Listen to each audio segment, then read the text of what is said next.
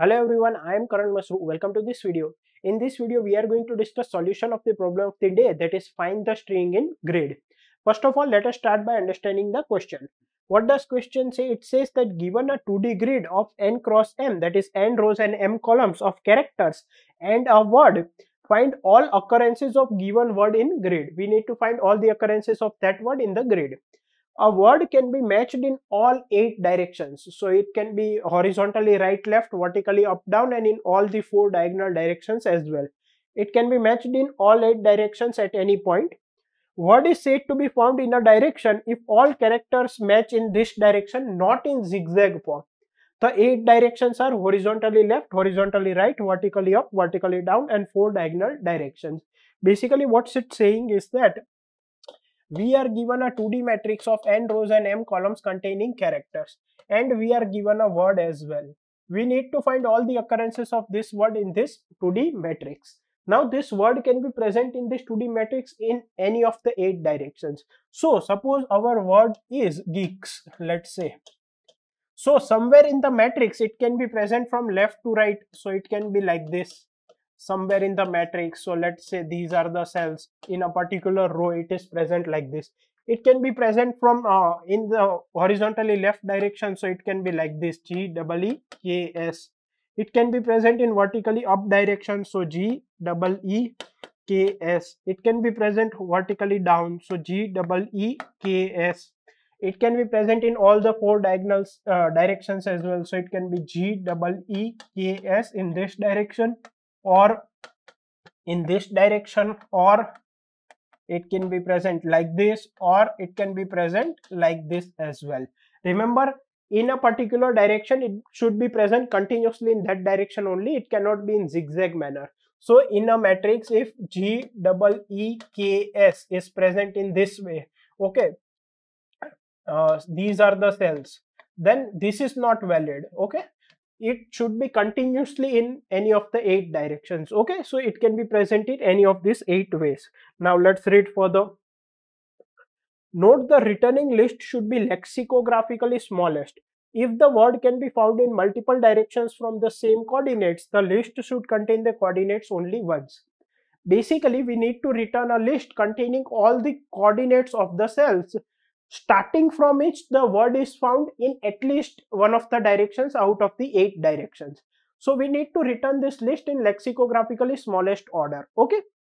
And what it said is if from the same coordinates word is found in multiple directions. So let's say it is present in rightwards also and bottom also. Then also we will consider that cell only once. Okay. So we need to return that list. Okay. Now let's see this example uh, so it is uh, 2D matrix. First row is ABC, second is DRF, third is THI, and the word given is ABC. The starting coordinates of uh, the word ABC present in the grid is 0, comma 0, right? Now let's look at the second example in a bit detail. So what I can say is, see, here it is AB, AB, right? Then it is AB, EB, right?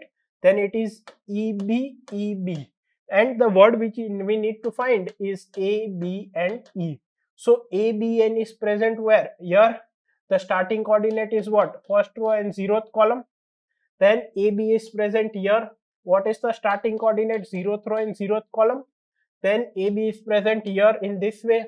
What? Uh, these are the directions. What is the first coordinate? It is zeroth row and second column. So our answer should be 0, comma 0, 0, comma 2 and 1 comma 0 because we need to print them in the lexicographical order. So basically which comes first in dictionary should be printed first. So 0 0 will come first then 0 2 will come and then 1 0 will come right? So we can say here 0 0 0 2 and 1 0 right? And then the explanation is given.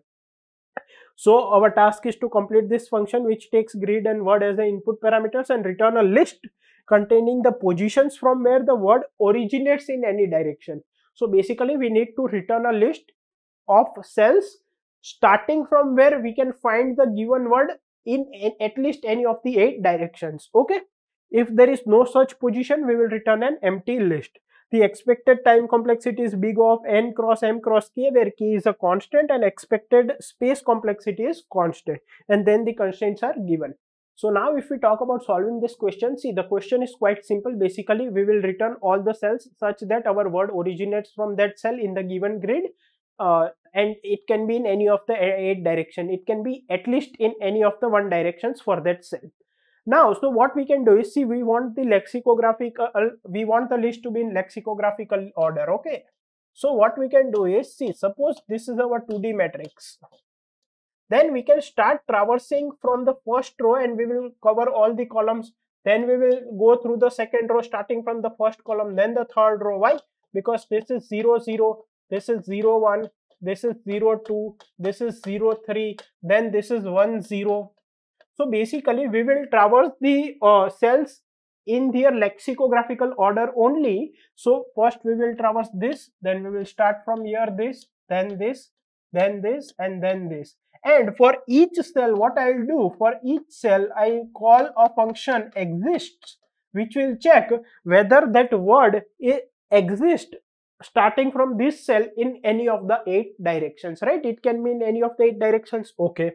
So now see starting from this word I uh, this cell suppose this is i comma j I need to go in all eight directions. First second third fourth fifth sixth 7th and 8th. Now one way to do this is we make 8 different functions for we make 8 different functions for all the directions and then for we call all the 8 functions one after the other for each cell and if any of them returns true we will add that cell to our answer list. But instead of making 8 functions what we will do we will call we will make only one function to check whether the word exists but we will also pass the directions so we will keep changing the directions so what we will do see if i go from year to year the row number will remain same the column number will increase by one year the row number will increase by one column number will increase by one year row number will increase by one column number will remain same year row number will increase by one column number will decrease by one year row number will remain same column number will decrease by one here row number will decrease and column number will also decrease. Here row number will decrease but column number will remain same. Here row number will decrease but column number will increase right? So can i say the direction in this movement is 0 comma or better to say let's say the direction in this movement let me write it here. The direction in this movement uh, this direction is 0 comma 1 the direction here is 1 comma 1 the direction here is 1 comma 0 the direction here is 1 comma minus 1 the direction here is 0 comma minus 1 here it is minus 1 comma minus 1 here it is minus 1 comma 0 and here it is minus 1 comma plus 1 so basically what i mean by this direction coordinates is that if you keep adding that direction value to the cell it will keep moving in that direction. So for example let us consider 1 and minus 1 so we want to traverse in this direction. The direction values are 1 and minus 1 so if i add 1 to i and minus 1 to j it will be i plus 1 and j minus 1 if i again add 1 to this i plus 1 and minus 1 to j minus 1 it would be what? It will take me to i plus 2 and j minus 2 then again if i add it will take me to i plus 3 j minus 3 basically it will keep traversing in that direction. So what we will do we will traverse this cell in this uh, row wise so that we traverse in lexicographical order. For each cell i'll call a function exist which will check whether the word originates from that cell and is present in any of the eight directions. And how will it it will do? Uh, we will take all the different combinations of this 1 0 1 minus 1 and so on so that we can go in all the eight directions. And if our word is present in any of the eight directions we will immediately return true add this cell to our answer list and move forward to the next cell. And if it is not present in uh, any of the eight directions we will not add, add it to the answer list and move on to the next cell and again do the same procedure. Now let's look at its actual code so now if we talk about the implementation, see I need to return a vector of vectors. So I have taken that as answer. Then I have taken this vector p which contains two elements. So basically whenever one cell will be valid, such means the word can originate from that cell and exist in any of the eight directions i will initialize p uh, the elements of p as the row number and column number of that cell and then i'll push back p into the answer right then i've taken some variables uh, so these x and y will represent the directions. So minus 1 and 1 will represent a particular direction. So suppose i am at i comma j then i minus 1 and j plus 1 so the row will decrease and column will increase. So this is i minus 1 and j plus 1 similarly 0 1 1 1 1 0 and so on. These are the eight directions right? And i have taken as the number of rows m i have taken as the number of columns and uh, s i have taken as the word size size of the word. Then for each and every cell i'll call the function exist and i'll pass the grid word uh, the cell value i row number and column number uh, number of rows number of columns length of the word and i'll pass this direction array also x and y. So i can use it and uh, traverse in all the eight directions. If it returns true i'll uh, note the row number and column number in my vector p and then push that vector into my answer vector and finally return the answer vector. Now let's see this exist function so now if we talk about the exist function, so these are the input parameters as we discussed, then what I'm doing is I'm taking a variable direction which will go from 0 to 7. So it will pick the direction value from the x and y row or uh, arrays, okay. So initially I have marked i1 as the i and j1 as j that is the starting cells k I have taken as 0, k will be used to increment the index of the word, okay.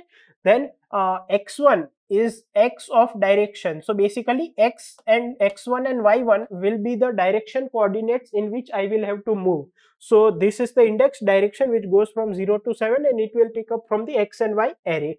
Then while i1 is greater than equal to 0 and less than n and j1 is greater than equal to 0 and less than m. So basically I'm checking if I'm not going outside the 2D grid. Okay. And the uh, k is less than s. So the word is still left to, to check.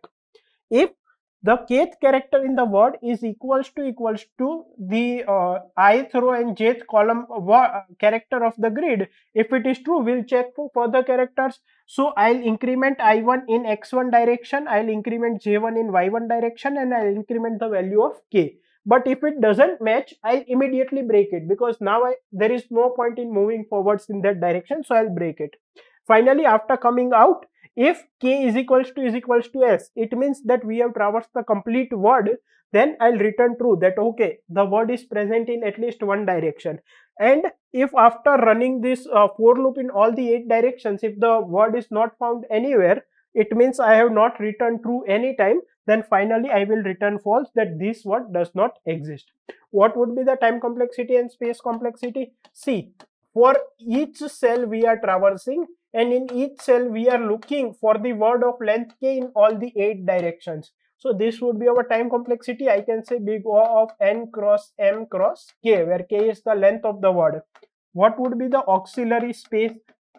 See we are returning vector of vector uh, that is our answer 2d vector and it can contain at max n cross m elements. So the auxiliary space would be n cross m. Now let's submit this code so let's submit it. So we have solved this problem successfully. I hope you have understood this solution completely. Thank you